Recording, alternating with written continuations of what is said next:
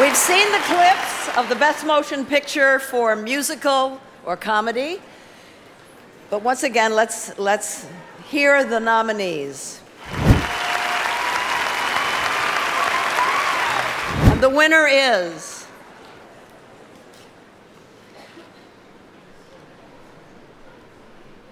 Oh, mais formidable, The Artist. Um, in, in 1965, uh, a young Frenchman.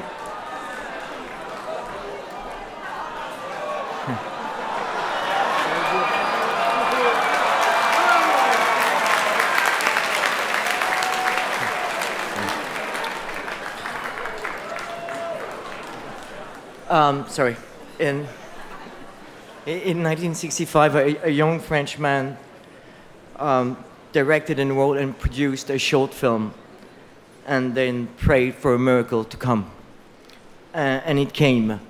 This short film, Le Poulet, was nominated for Best Short Film in 1966.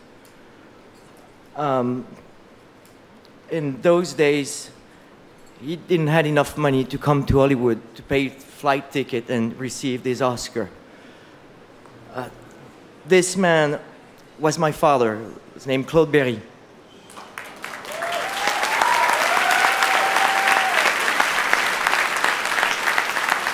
So it is. It is now almost three years he, passed away, and it is such an honor, such a great honor to to receive this from the Foreign Press Hollywood, from being in this room and remembering him. Thank you, Harvey Weinstein, the Punisher, the boss,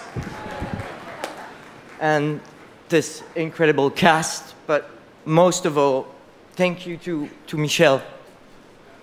This, not only for your unique film, but for who you are. Thank you.